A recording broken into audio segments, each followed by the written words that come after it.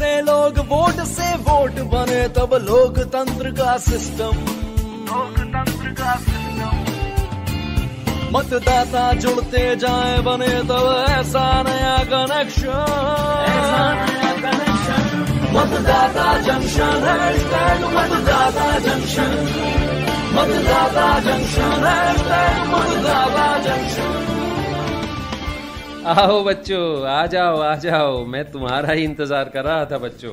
अरे ये क्या चाचा जी? आज आप हमसे पहले कैसे? अरे बच्चों मैं यहाँ पास में एक स्कूल में बारहवीं क्लास के बच्चों को कुछ चुनावी ज्ञान देने आया था। अच्छा। वो सब कुछ दिनों में हमारे नए वोटर बनने वाले हैं ना? तो बस आज इसी काम के लिए आया था। वहाँ का काम पूरा हुआ तो यहाँ आ गया। वाह। चाचा जी नए और आने वाले वोटर्स को राह दिखाना पुराने वोटर यानी हमारा कर्तव्य है। सही कहा भारत आपने। वैसे इस बार हमारे मतदाता जंक्शन का विषय भी फ़र्स्ट टाइम वोटर ही है चाचा जी। वाह बच्चों अब देर ना करते हुए हमारे श्रोताओं का भी कार्यक्रम में स्वागत कर लेते हैं। जी चाचा जी तो श्रोताओं हमारे मतदाता जंक्शन में हर बार की तरह इस बार भी जुड़ने के लिए आपका आभार अभिनंदन। जी हाँ साथियों आपका बहुत बहुत स्वागत है मतदाता जंक्शन में। लीजिए कल्पना जी का भी मैसेज आ गया। वो भी पहुँचने ही वाली है। मतदाता इस लोकतंत्र की शान है। जनमत ही इस देश की पहचान है। हर व्यस्त को मतदाता हम तुरंत बनाए अरे सहभागी बन हर चुनाव में फ़र्ज़ निभाए। अरे जागो रे जागो देश के मतदाता। अरे जागो रे जागो देश के मतदाता। वाह संगीत से ऊर्जा आ गई चाचा जी।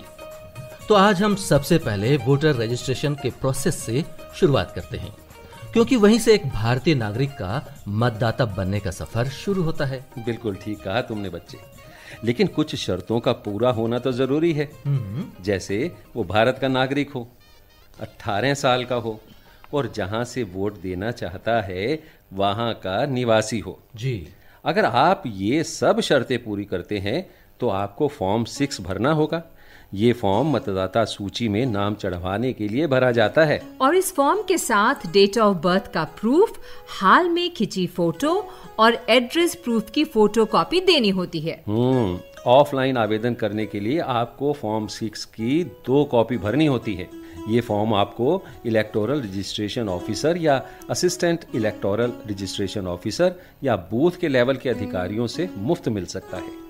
इसके बाद ज़रूरी डॉक्यूमेंट के साथ अब खुद संबंधित इलेक्टोरल रजिस्ट्रेशन ऑफिसर या असिस्टेंट इलेक्टोरल रजिस्ट्रेशन ऑफिसर के पास जाकर जमा कर सकते हैं या फिर आप पोस्ट के ज़रिए भी ये फॉर्म दे सकते हैं। साथ ही आप अपने इलाके के बूथ लेवल के अधिकारी को भी ये फॉर्म भरकर दे सकते हैं। चाचा जी आजकल तो सब काम मोबाइल से या डिजिटल माध्यमों से भी तो हो जाता है ना? यानी ऑनलाइन उसके बारे में भी कुछ बताइए ना।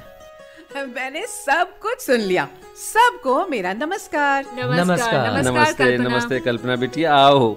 हम सब वोटर रजिस्ट्रेशन की ऑनलाइन प्रोसेस के बारे में ही बात कर रहे थे। अच्छा। यानी तुम्हारा डिपार्टमेंट शुरू हो जाओ फिर। चाचा जी ऑनलाइन प्रक्रिया के बारे में मैं भी बता सकती हूँ। अच्छा। क्योंकि अभी अपनी छोटी बहन जो कि 18 की हो गई है उसका ऑनलाइन आवेदन किया है मैंने। लेकिन एक बात और जोड़ देता हूँ बच्चों। क्या चाचा जी? ये ज़रूरी नहीं कि 18 वर्ष के हो जाएँ।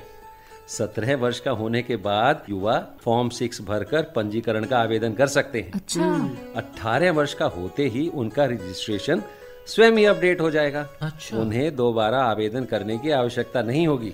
तो आवेदन के लिए आपको www.nvsp.in पोर्टल पर जाना होगा और वहाँ एक आईडी बनानी होगी और उसमें लॉगिन करना होगा।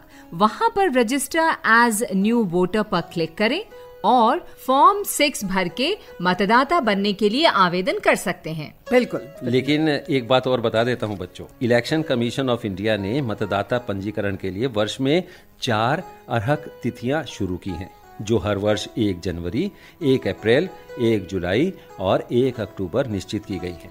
यानी अगर आप 18 वर्ष के हो गए हैं तो आप बताई गई तिथियों में से किसी एक पर मतदाता के रूप में पंजीकरण करा सकते हैं। हाँ इसके अलावा चुनाव आयोग ने वोटर हेल्पलाइन नाम का एक ऐप भी बनाया है जिसे एंड्रॉइड यूज़र प्ले स्टोर से और आईओएस यूज़र ऐप स्टोर से आसानी से डाउनलोड कर सकते हैं।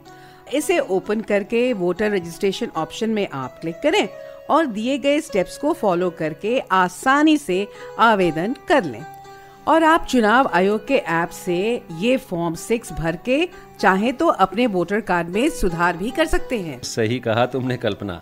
यहाँ ये समझना ज़रूरी है कि वोट देना नागरिक का ऐसा अधिकार है जिसे मतदाता बनकर ही पूरा किया जा सकता है। बिल्कुल।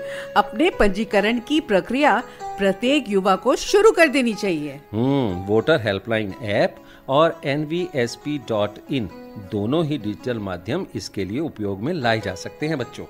कल्पना जी क्यों ना हम लगे हाथ ज़रूरी विभिन्न फॉर्म्स की जानकारी भी देते चलें जिससे कि वोटर्स को सुविधा भी हो जाए? जी बिल्कुल।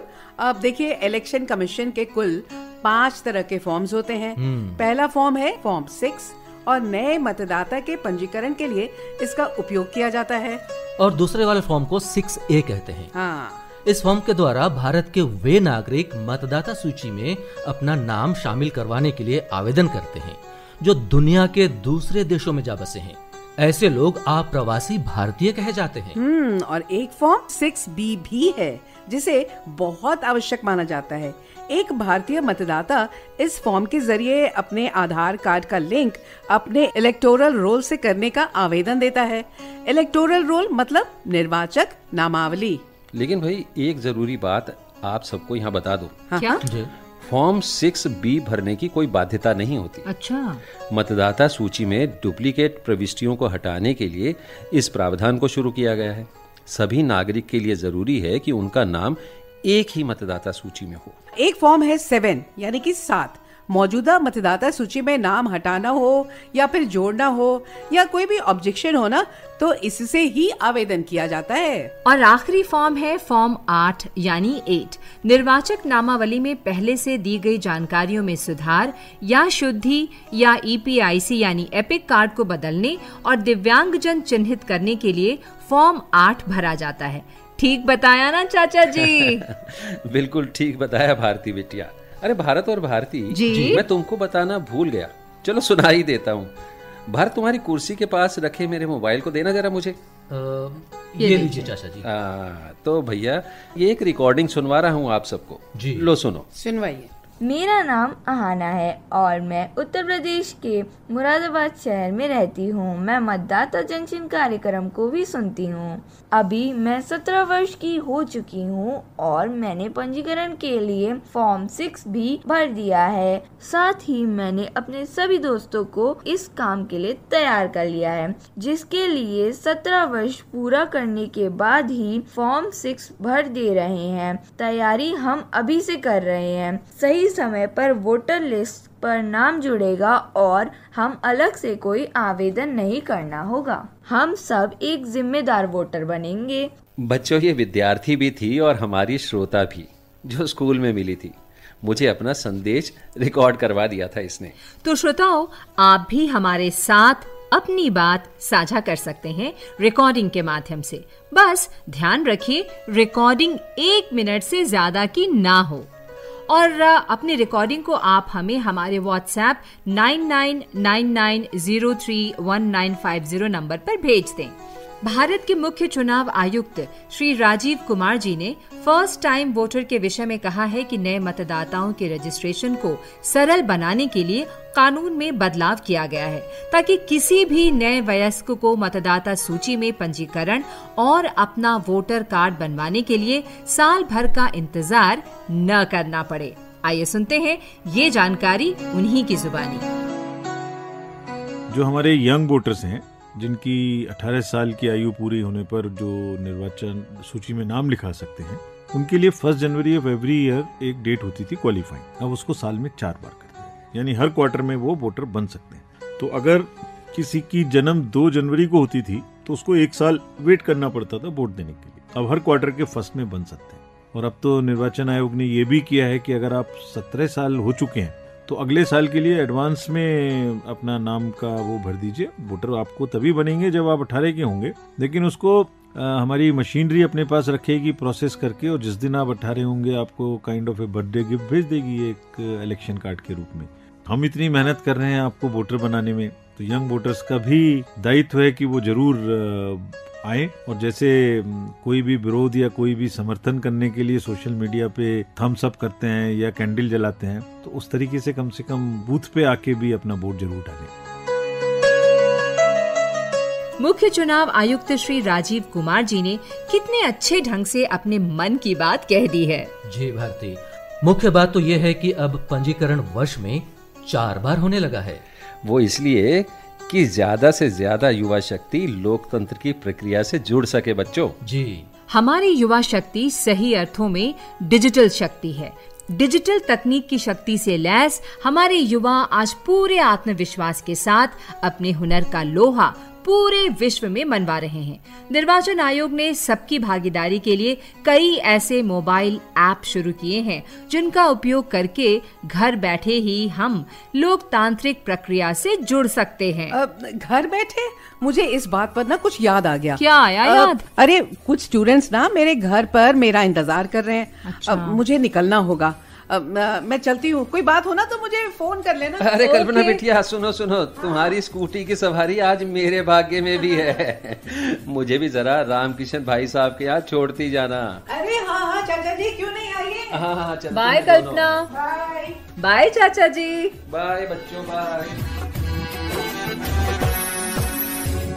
भारती हाँ? क्यों ना अब एक सेलिब्रिटी आइकॉन प्रख्यात फ़िल्म अभिनेता राजीव वर्मा से उनके विचारों को सुन हाँ हाँ क्यों नहीं? नमस्कार मित्रों मैं राजीव वर्मा आप सबको प्रणाम करता हूँ आपका अभिनंदन करता हूँ आप सबको शुभकामनाएँ देता हूँ। दोस्तों मैं अपने आप को बहुत भाग्यशाली समझता हूँ कि मुझे मतदाता जंक्शन के माध्यम से आपसे बात करने का आपसे मुखातिब होने का मौका मिल रहा है। हम आपसे अपेक्षा रखते हैं कि आप हर चुनाव को एक त्योहार की तरह मनाएँ। न केवल अवश्य रूप से खुद वोट दें, बल्कि अपने पूरे परिवार को, मोहल्ले वालों को, अपने आसपास के सभी लोगों को चुनाव के दिन वोट देने के लिए प्रोत्साहित करें। याद रखिए दोस्तों, चुनाव में प्रत्येक वोट बड़ा कीमती होता है, जो देश को एक निष्पक्ष, मज़बूत और स्थायी सरकार देने के लिए बहुत आवश्यक है। एक बार फिर से आपका अभिनंदन करता हूँ, शुभकामनाएँ देता हूँ। आपको प्रणाम करता हूँ। धन्यवाद नमस्कार जय हिंद। वाह क्या बात कही है। हमारे सेलिब्रिटी आइकॉन अभिनेता राजीव वर्मा ने। भारती अब चलिए क्विज सेक्शन में। अपने श्रोताओं को भी मतदाता जंक्शन के क्विज में भाग लेने और गिफ्ट जीतने का मौका देते हैं। हम्म, क्या था पिछले बार का सवाल? हमने पूछा था निर्वाचन के लिए एमसीसी या आदर्श आचार संहिता किस दिन या तिथि से लागू हो जाती है? और इसका सही जवाब है जिस दिन या तिथि से चुनाव की घोषणा की जाती है। हमारे बहुत सारे श्रोताओं ने हमें सही जवाब दिया है। जी और इस बार विजेता श्रोता हैं। तिलकराज अरोड़ा शेखपेन खुर्जा उत्तर प्रदेश। आपको बहुत बहुत बधाई। और अब सुनिए आज का सवाल। तो सवाल है फ़र्स्ट टाइम वोटर के लिए कौन सा फॉर्म आवश्यक है? सुनने वालों की सुविधा के लिए सवाल मैं दोहरा देती हूँ। सवाल है फ़र्स्ट टाइम वोटर के लिए कौन सा फॉर्म भरने की आवश्यकता होती है? और इसका जवाब हमारे श्रोता double nine double nine zero three one nine five zero पर व्हाट्सएप कर दें। तो चलते हैं आप और अगले सप्ताह फिर मिलते हैं एक नए विषय के साथ। आपके अपने कार्यक्रम मतदाता जंक्शन पर। तब तक के लिए अपना खूब ध्यान रखिए। नमस्कार। जब जुड़े लोग से लोग वोट से वोट बने तब लोकतंत्र का सिस्टम लोकतंत्र का सिस्टम मतदाता जुड़ते जाए बने तब ऐसा नया कनेक्शन मतदाता जंक्शन मतदाता जंक्शन। मतदाता जंक्शन हैशटैग मतदाता जंक्शन